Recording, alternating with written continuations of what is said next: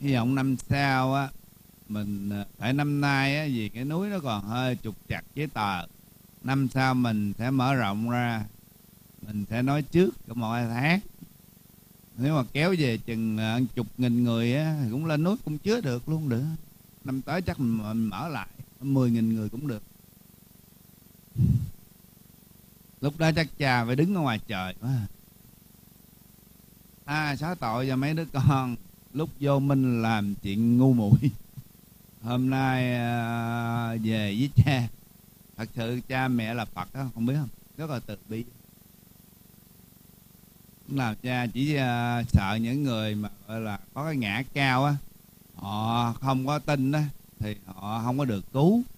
Còn những người mà cái ngã không còn cái ngã đó thì về trời nó cũng không còn cái ngã cái nhà, cái thằng vô côn á, trước khi nó đi ăn chơi ta, tứ phương làm dân, đại ca rồi á, mà khi mà nó gác kiếm á, nó về cái thằng đó, nó làm việc giỏi lắm. Nuôi, nó nuôi làm ruộng hay là nuôi gia đình giỏi. Thì cái dạng đó là cái dạng cha đang cần. Nó thằng mà nó nó còn ăn chơi, nó còn ờ, ngã đò, ngã mạng, cứng đầu.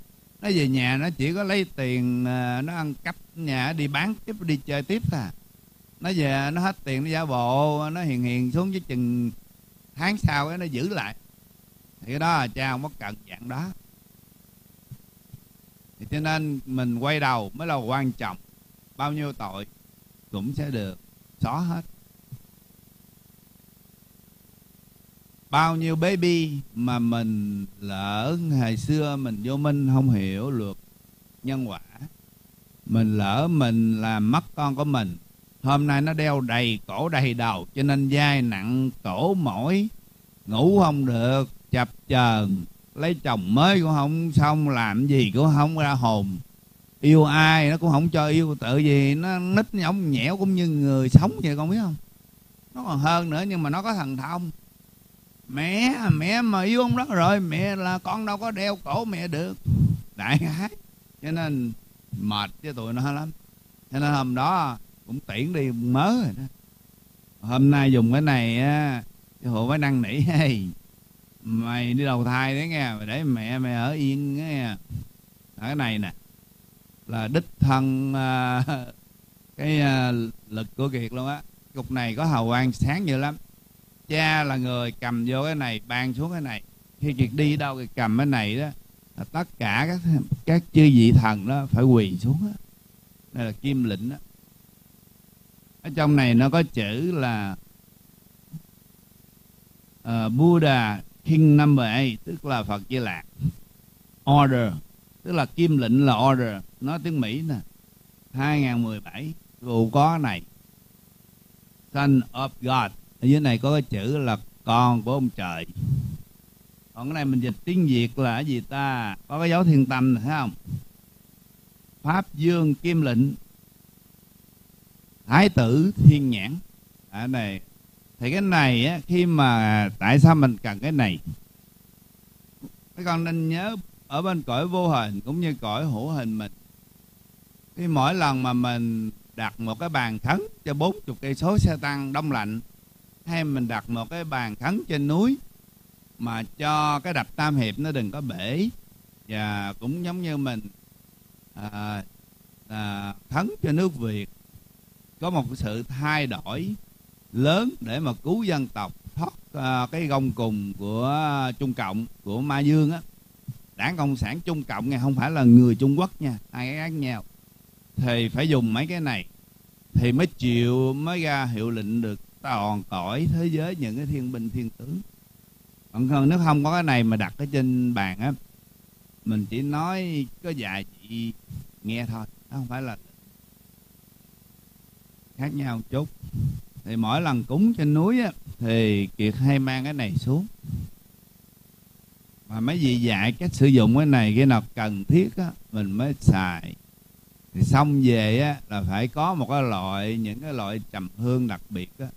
tại vì khi nó hút hết những cái ô uế cái trượt của một cái người nào mà được để đầu á thì bắt đầu nó sẽ nó là trong cái máy hút hút hút hút ma vaccine go buster vậy đó. Ở này giống vậy. Hả?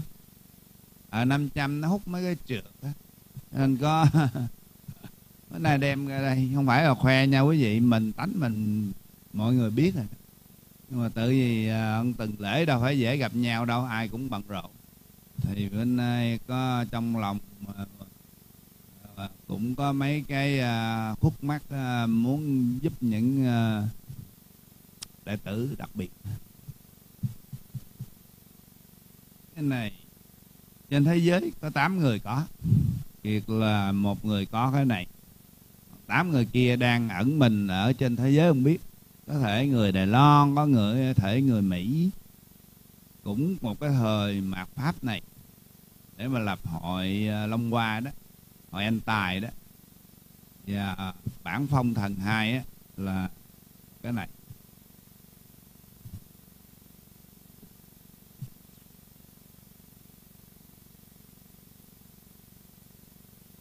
Đó là chuyện sơ bộ của cái ngày à, mùng chín. Vía cha ngày sám hối. Rồi uh, đi sơ sơ mấy đệ tử họ thiên ở khắp thế giới. Hôm nay thì chứng nhận hầu hết. Dùng cái kim lệnh này có hai mục đích trị bệnh cho một số đệ tử đang có mặt ở đây. Và đồng thời à, thọ ký cho tất cả mấy chục triệu họ thiên trên toàn thế giới hôm nay đều chánh thức. Là con của ông trời là đệ tử của thiên tướng kiệt này là hôm nay là đem ra để lên mạng đó, là máy quay phim này quay nè. để được về trời cùng với kiệt.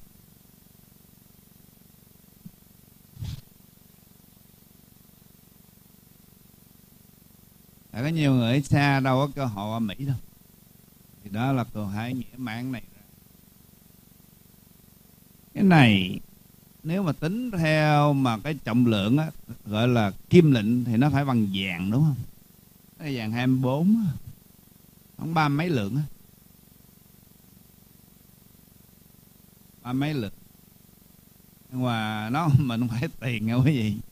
Bây giờ bọn à, bây giờ ai mua đèn tỷ cũng hay. Lộn rồi đó.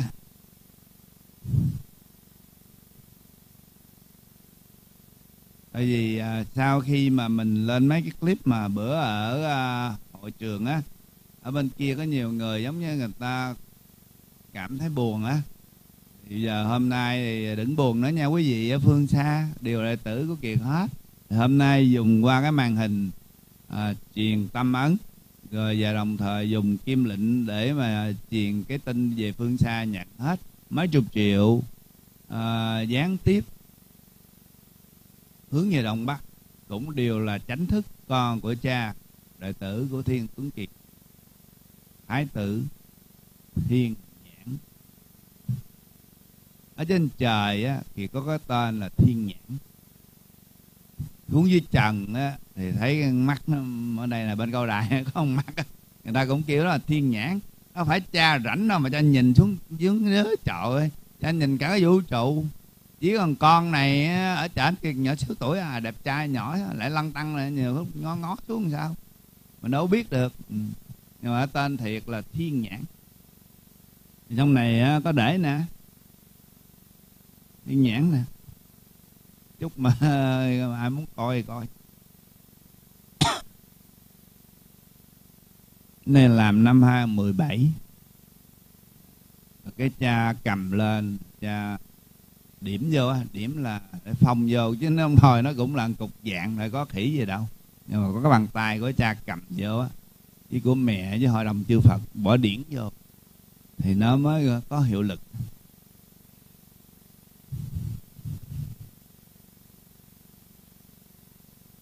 Cái mình nói tới đâu thì mình cho câu hỏi tới đó.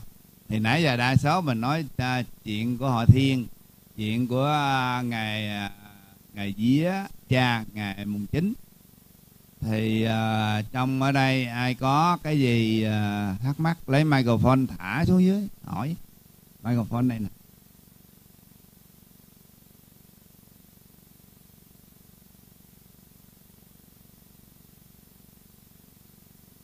Để hai ba rô đi mở rô cái microphone. Ai hỏi hỏi. Đưa cho bác ngư cái kìa ổng cũng đang uh, ngó ngó. Bây giờ tới bác ngư nói chuyện. Để gần ơi ngồi đó. Rồi bác ngư muốn ngồi đâu ngồi ngồi đó cũng được. Thưa ngài. Vẫn thì chưa rồi. Chúng ta đừng nói. Câu chuyện tôi mình nói đó, nói mình phải chú ý cái âm thanh. Tại vì khi mình có lợi á, là âm thanh nó không có vô. Như vậy có nghĩa là tôi xin thưa rằng chưa nói. Bởi vì cái thời gian nó quá ngắn mà còn quá nhiều người. Với thứ hai là tôi chỉ nói tới một đoạn về cái Quỳnh duy thôi. Tức là lúc mà ngài mà bắt đầu khai đạo cho tới khi ngài vắng mặt đó, bảy năm mấy tháng, thời gian đó ngài hai lần, ngài có bài trừ dạ bổn đạo. Tôi nói cái đoạn trước đó là trừ dạ bổn đạo. Cái lúc mà ngài về pháp nó lưu cư ở nhà ông ông, ông, ông, một viên chức của pháp. Ông bị nghiện ờ, áp hiện do đó mà cái cái thứ hai đó tôi chưa chuyển đề. Tức là cái bài thứ nhất tôi nói ờ, với, với sư phụ với các quý vị đó. Tức là ai siêu ai ngã ai bền độc lừa tồn tại là nền quốc gia. Rồi có cái, cái tiếp theo nữa đó là ai người tam đạo đừng toan phụ thầy nửa đường giữa giữa đường đờn lại trước dây. Khi yêu sum hợp bổn thầy lại xa. Đó là bài thứ nhất dạ bổn đạo. Rồi thứ hai mà thầy biết thầy đã nhấn mặt lâu thì thầy mới nói một câu. Bởi vì lúc đó đó có ba người giả ra thầy. Cho nên đó, thầy mới dặn dò là một đời một đạo đến ngày chung thân. Cái câu này dễ bị hiểu lầm. Thầy đã nói, biết trước rằng thầy vắng mặt thì có một số đã đi lạc đường, lạc đạo, cho nên thầy mới nói câu đó. Tôi nói đó đó thôi, nhưng mà tha trước tại vì chưa nói hết. Thì nay tiếp tục đó. Cái bài thứ hai mà thầy tự giả bóng đạo thầy có nói là tức là dặn dò những một số tín đồ. Khi mà thầy vắng mặt, lâu đó thì sẽ bị đi lạc đường lạc đạo. Nên thầy mới nói một câu là một đời một đạo đến ngày chung thân. Tức là ý thầy muốn nhắn cho những người tín đồ sắp lạc đó. Chứ không phải ít thôi bởi vì tôi nói thể nguyện với cha với mẹ, với đức thầy. Một lời tôi hiến đăng để mà thì thầy phò sư phụ ngôi kiệt cho nên không bao giờ tôi có ý nghĩ khác hết mà chưa chỉ lặp lại chưa hết chuyện thôi. Tôi xin lặp lại là cái câu mà một đời một đạo đến ngày chung thân, tức là thầy biết rằng thì thầy vắng mặt xa. Là sẽ có một số đi lạc đường, vì lúc đó có ba người giả ra thầy. Một người thì ở trên tân châu, cách tổ đình bốn chục cây số người thì ở dưới. Bây giờ gọi là quận châu thành, tỉnh an giang, một người bên đồng tháp. Con số lạc đạo thiệt. Cho nên cái vấn đề này đó tôi xin tính chánh là câu đó chỉ thầy tiên tri cho những đi lạc. Mà hôm nay tôi cảm thấy cái tâm tôi chưa có là bởi vì tôi biết kính trọng người trước mặt của chúng tôi, của tôi hôm nay. Tôi sợ nhất là gì? Sợ ngài buồn. Mình đã nói, đang theo ngài mà tại sao mà để cho ngài buồn? Cho nên tôi rất sợ cái đó. Hôm nay tôi xin nói là một lần nữa, tức là lần vắng mặt thứ hai đó. Thầy mới nói một câu, ai người câu trước thì ngài nói là, ai người tâm đạo đừng toan phụ thầy, nửa chừng đần lại đứt dây. Khi vô sum họp, bỗng thầy lại xa.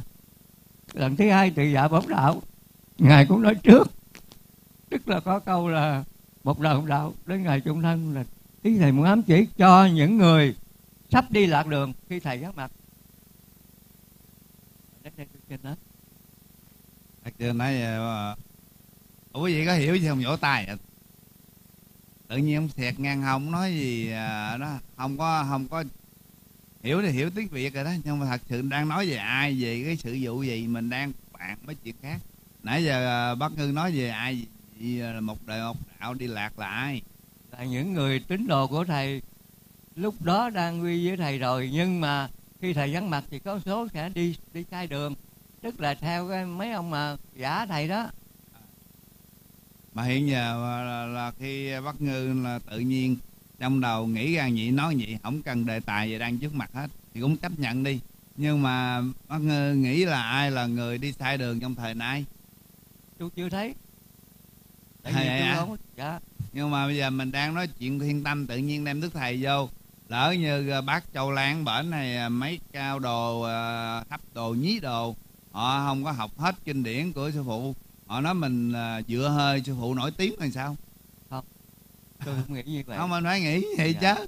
Tại vì à, mình thương đức thầy mình thương mấy ổng sợ mấy ổng đọa địa ngục. Mình không phải lo chứ mình xuống đây mình cứu được chúng sanh chứ không phải mình tạo để cho người ta sân si rồi người ta đi xuống địa ngục tội nghiệp. Đối với bữa giờ Lan, thắng giùm cho bác châu lan quá móp cái chán là cái chán móp không có gì. À, Ừ. ông chửi nặng lắm cho nên giờ phải đập đầu khấn cha ơi đức thầy ơi xin lỗi giùm bác châu lan. Lan châu ở châu lan? Châu Lan. Với cái với cha gì? À, cái gì? Lê hồ hả? Với ai nữa? Với nghĩa nữa hả? Ờ khấn cho nên á, mấy nhân vật đó khấn mua hấp chán luôn á. Coi chừng á nói ở đây á tại vì mình không có control được ai cầm microphone muốn nói gì tại vì lên livestream là à, à, tên mà bắn ra không có lấy là được nghe. Bởi vì cho nên người ta nói mình mượn danh à, đức thầy. Cái gì này trường? đó, mình, mình nói chuyện mình dạ thưa cái này cái ngoái lại là chót tôi không có tới nói Ờ, đây à, nghe âm thanh chơi nghe cái miệng. Rồi rồi rồi thêm hồi nãy nghe thoáng thoáng là như bắc ngư muốn hộ hộ kiệt hả hộ thiên tướng kiệt hả? Nói cho nghe âm thanh đi. bởi vì tôi đã cá nhân tôi nghĩ ngài là minh dương. Rồi cá nhân tôi nghĩ cái người mà Việt Nam đang cần gần đây thế giới đang cần những ngày sắp tới nữa. Cho nên ngài có hai cái lãnh nhiệm vụ cái trách nhiệm về sứ mệnh. Cho nên nói à, anh Minh Dương không á thì để từ từ chưa về cái là hộ hộ kiểu này là giống như à, đưa mình lên nhầm quả cho mấy thằng kia nó nẻ trứng rồng chưa nở còn đang nằm cà lăng cà lăng ngay chỗ này. Chọt chót ở đây thôi à. Minh Dương nào đâu mình đâu thấy. Mình để đức thầy ông tuyên bố. Chứ bây giờ bây giờ chuyện của đó là chuyện của đức thầy đâu phải chuyện của mình đâu. Chưa là hộ đó bác uống thuốc ờ, điều điều mạnh khỏe là mừng rồi